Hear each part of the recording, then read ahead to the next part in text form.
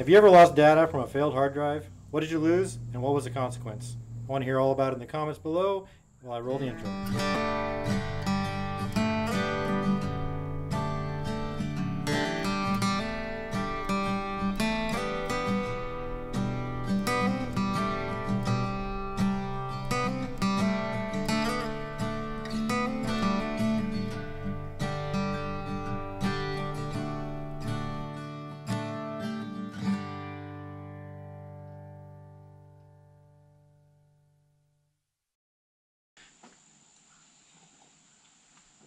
Now this was not the video I had anticipated doing today. When I first started being a, a YouTuber, I guess officially, was back in May, uh, merely uh, three months ago, four months ago maybe. I purchased uh, an Easy Store hard drive from Best Buy, four terabytes that I was going to to uh, transfer and store all my all my footage to the hard drive and uh, have a good good storage location for all the footage that I was about to take. And I did that and it died already.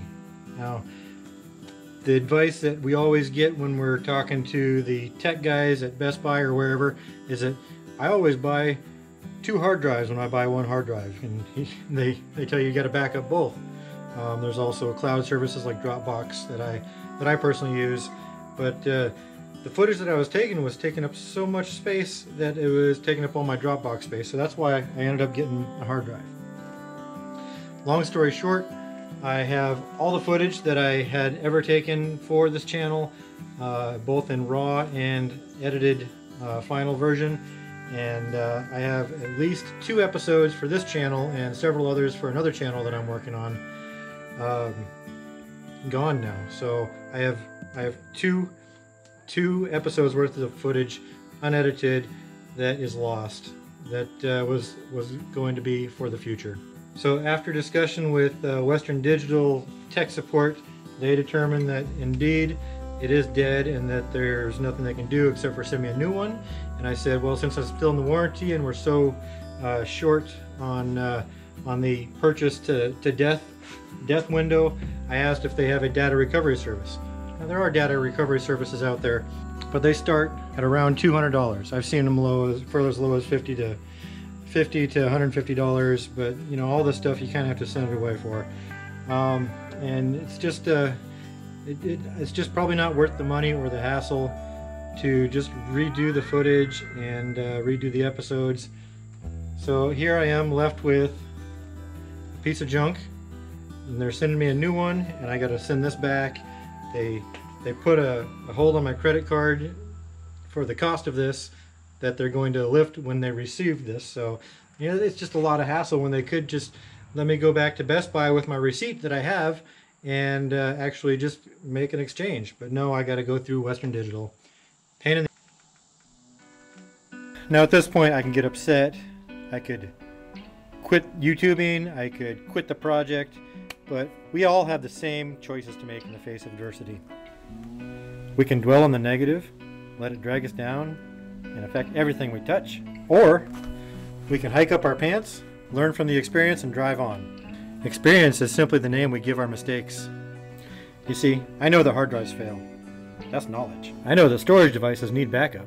What I didn't suspect is that I would need it within the first three months of owning it with less than 10% of the capacity used up. Now I do. Experience is what you do with knowledge.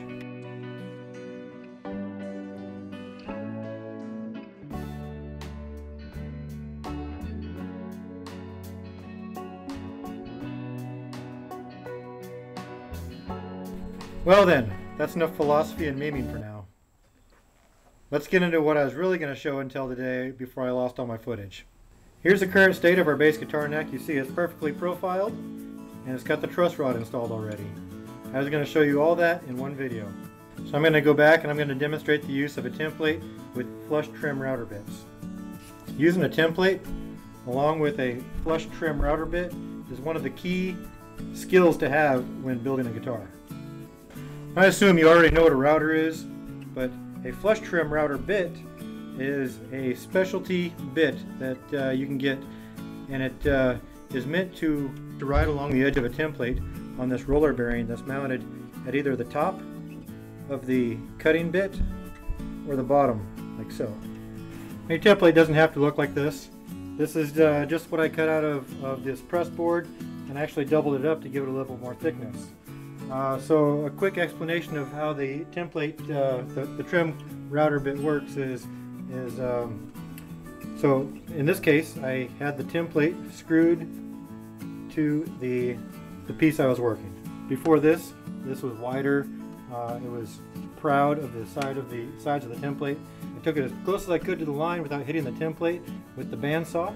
So I took it over to the router table with the with the uh, bit sticking up and the bottom bearing exposed and this went onto the table upside down and the way this works is this roller bearing guides along the template like so so it rolls right along there and it takes off the material from the piece that you're working the idea is the less material you have to remove, the smoother it's going to go. And the less likely chance you're going to have tear out. So as you see here, this was perfectly routed along the template, riding along this bearing. Alright guys, as I was fishing around looking for something to, to cut this Telecaster neck out of as a demonstration only, uh, to demonstrate the router technique, uh, I came across this interesting piece of maple I've been carrying around for years. And I thought if I'm going to cut a neck shape out of this maple, I might as well go all the way and make a whole neck. Because as it happens, I have a Telecaster body without a neck. Uh, so that works out. I'm going to go ahead and uh, start a new project. I was not anticipating starting a new project. Like I need another new project right now, but uh, uh, I'm going to go ahead and make a complete neck. Not all today, I'm just going to go all the way up through uh, getting the shape of the neck just to demonstrate what I would have done, what I would have done for the bass guitar neck. So we're not changing topic in this channel, but uh, I'm going to continue to work on, on uh, fixing up this Telecaster in the background. Let me go ahead and show you this Telecaster body that I have. So this here is a Lake Placid Blue made in Mexico Telecaster that I bought. It was the first guitar I bought. It was the second electric guitar I had. I was about 15. Um, I think there's a stamp on here that says uh, uh, some date in 1994. So that's an idea of when it was made. Um, I bought this when I was about uh, 15 or a sophomore in high school, somewhere around then. I played it a lot through high school and college and carried it around with me uh, all throughout uh, until now, obviously. Um, but this is just a body right now because this is the guitar that I disassembled to teach myself how to wire a Telecaster guitar. Um, the neck wasn't all that great, so I ended up selling that, and it never got put back together. So here's a perfect opportunity to go ahead and, and build a neck, and we'll go ahead and, and uh, finish out this guitar. I'll probably put some money into uh, decent hardware and uh, and lace sensor uh, pickups because that uh, tends to be the, the brand that I'm leaning towards more and more. Um, so yeah, stay tuned for that. I will set that up in a different playlist and kind of work on it in parallel with this bass guitar. Bass guitar is still taking priority, but uh, now I've got a new guitar project. I didn't need a new guitar project right now, but uh, so there's that. So at this time I want to show off some of my templates. Uh, of course I've got neck templates. This one is for a Telecaster. Well, I've got two that are two different styles of Strats. This is uh, like the one that Jimi Hendrix would have played on, and this would be the one that uh, Eric Clapton might have played on. So you've got a, a fat Fender head from the, the 60s, and you've got a more modern look. Here's a routing template for a pick guard for a Strat. Um, here is a, another Strat routing template that goes for just the control cavities. So you're going to route the bridge access and the uh, and the control jack and the and the uh, cavity for the electronics and the and the bridge pickup and you get the middle pickup and the and the uh, neck pickup. This would go right on top of your piece, and you're going to uh, dig out all the all the holes in the guitar. Okay, here is for a Telecaster hollow body. You've got to, uh, if you wanted to cut out the the inside and make make a um, a channeled, chambered, a chambered guitar body. And here we have a Strat with a removable part. You get the piece for the bridge that's going to go on the top. And then you're going to remove this piece. Come on. It's a good tight fit. anyway, you're going to take this piece out. You take this piece out to route the back where the uh, where the string where the bridge block goes because there's springs that go from the from the inside of the body to the bridge and keep it uh, pulled tight against the string counter pressure. Okay, this is a master template for a Telecaster. I actually purchased this one and this is the template that I would use to make templates from uh, because in certain cases you could be riding along with your router and you might um, jump a bit and your router could just dig into the side of your template. You don't want that to happen so you want to get a, a uh, another template made against this template to preserve this perfect one. And a master for the uh, Strat.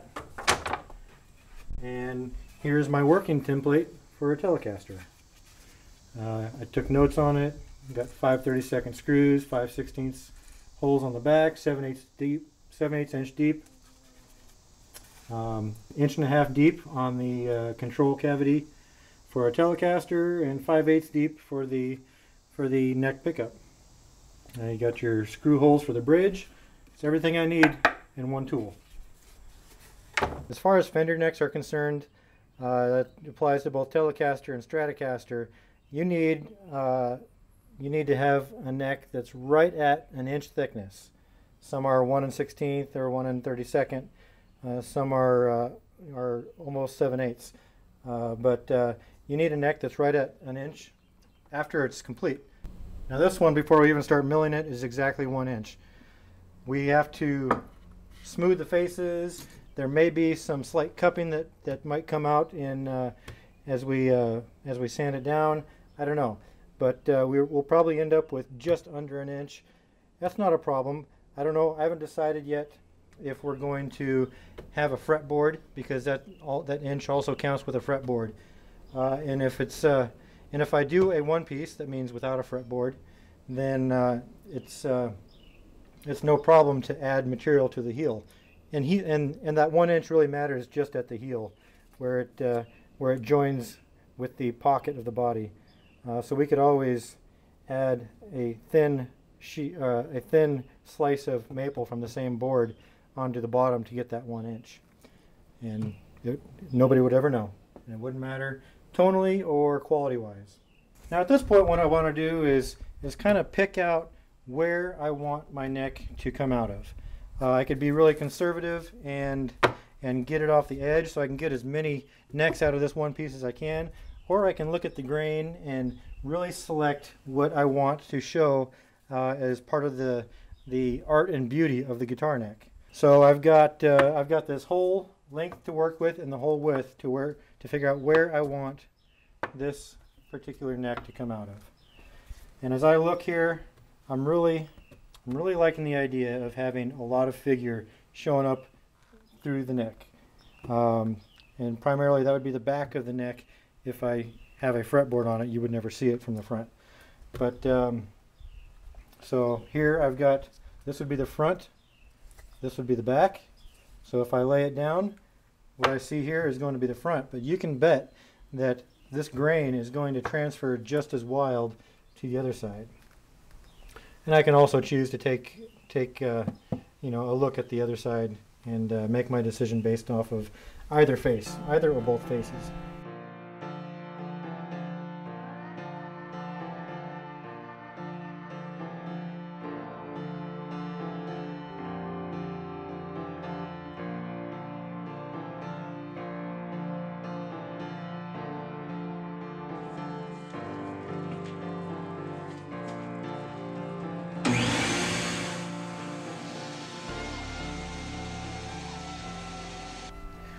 Right, at this point, it doesn't have to be perfect. So this is what we're left with, a rough cut of, of the shape. Um, so what we, what we got here is, is uh, some grain that's going pretty crazy across the top. You can see right here where we have uh, uh, a high point after it was after it was cut level at the sawmill. We're left with uh, some contour that uh, looks like looks like the knot was coming straight out of here. Uh, and then at the headstock we've got some nice long sweeping grain on both sides. Got some some ugliness that we'll have to sand away. Um, this will be the heel of the guitar. We may or may not have to build that up depending on, on some of the decisions we make, but this is what the back of the neck is going to look like. Um, this, is, this grain is going to be um, pretty interesting, especially once we get the, the back uh, of the curved neck um, all complete. And then on the end grain, we've got nice long horizontal tight grain right here. This should be a very stable neck. And if not, I'll throw it away and make another one. That's the advantage of having some skill with uh, guitar making. Alright, at this point I'm going to go ahead and attach the neck template to the neck blank. Uh, then we'll take it, uh, this is this is actually pretty close. I don't think I'm going to take it back over to the to the bandsaw. I think we'll take it right over here to the, the Ridgid oscillating spindle sander and, and we'll finesse the edges as close as we can to the neck template before we take it to the router. I've got a couple ways I can go about attaching the template to the, the stock. Uh, one is to put an actual screw through the template into the stock. And right now I've got the screw uh, holes uh, aligned so that they would go into where the skunk stripe would be. Now a skunk stripe is is something that uh, you might have seen on uh, typically Fender, Fender guitars, but it's a it's a on the back of the neck. It's a strip of wood, usually a darker wood than a maple, uh, just to give it a, a, cool contrast.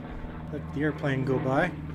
But the skunk stripe is is essentially a uh, patch that's going to cover your your uh, truss rod channel.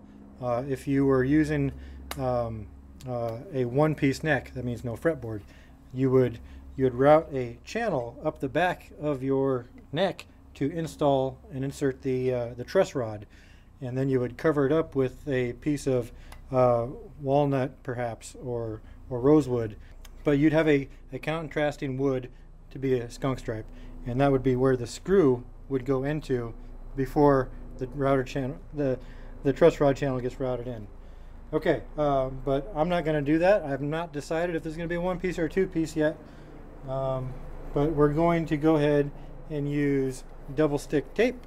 Uh, usually the kind of tape you'd use, you'd find in a carpet layers toolbox.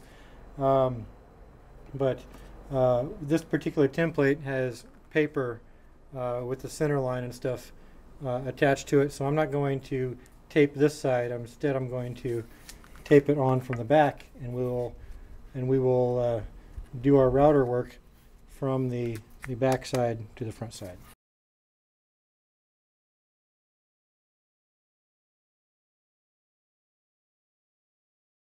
This is one of the greatest tools that uh, Home Depot ever used to sell.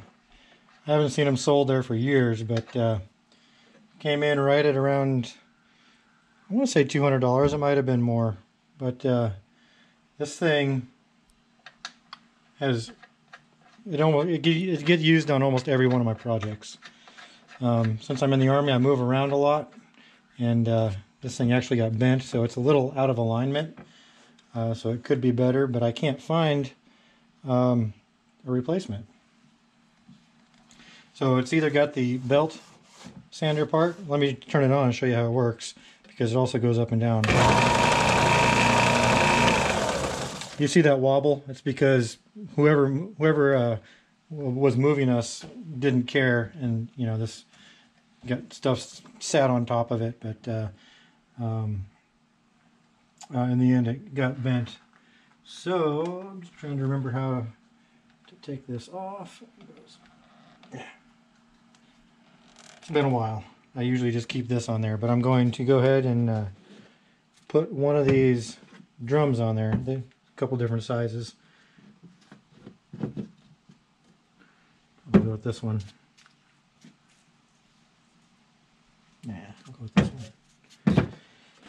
It actually wants me to turn the screw the opposite way that uh, is standard. Here we go.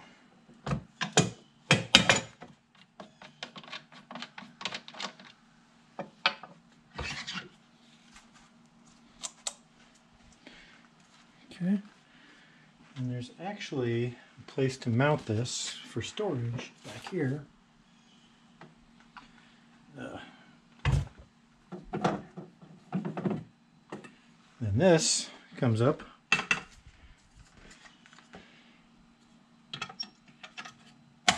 To cover. This goes back here in place of that. Okay. And I'd bring this up Slides right on there. And you got a ring that goes here. Turning the standard way. This is the non-standard.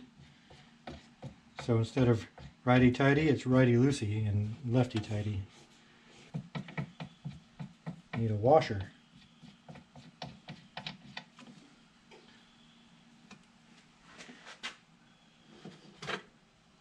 Right here.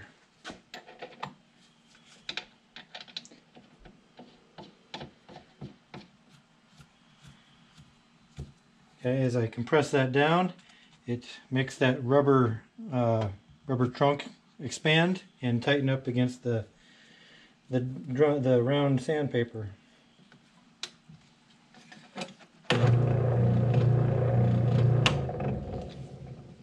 A little bit of wobble.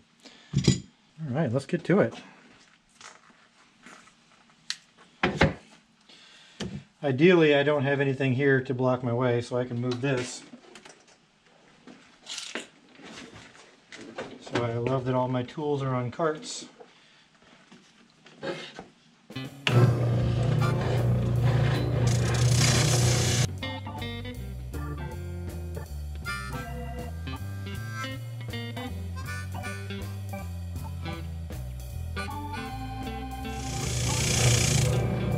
Keeping my eye on the gap back here that I don't that I don't wander into my template. Because if I put a notch in my template, then the router bearing is going to follow that notch, and that's what's going to end up being on the uh, on the stock that I'm working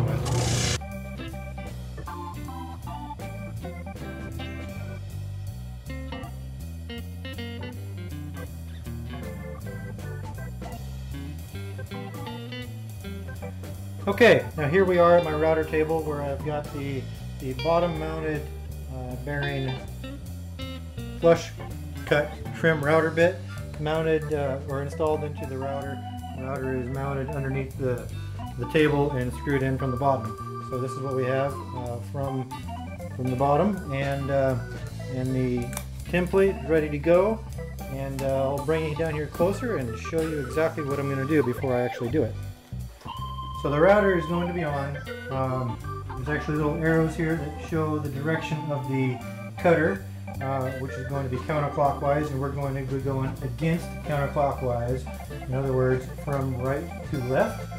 Um, the bearing here is set up so that it will uh, go right against the template. I'm going to see if I can raise the entire motor from below to get more uh, more cut more of the cutting surface against the actual surface that we need. Uh, right now I'm just screwing, okay that's maxed out right there. Um, and it happens to be right at the very top of the stock. Which may or may not be enough, but that's okay. Um, so the bearing is, is riding along the template here and we'll be cutting out yeah, there's going to be a little lip left over uh, on the stock, but uh, I'm going to show you exactly how we're going to fix that once we get the first pass out of the way. All right, um, shoot, I think we're ready to do this. Let me go ahead and plug the machine in.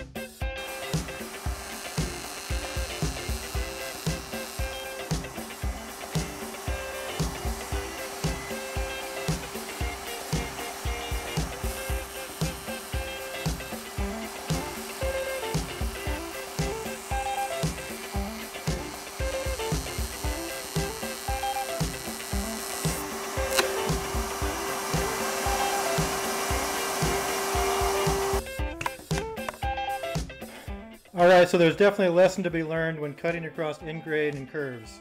It's gonna bite into it. So if there's any place you're going to want to sand as close as possible to the line, it's on the end grains, uh, especially at the tip here. This end wasn't too bad at all, but uh, something about uh, the end here and the curve and the inside curve here, uh, the bit really wants to grab it and, and rip it out of your hands. Um, in that case, it's it's best to let uh, just to let the let the tool take it from you.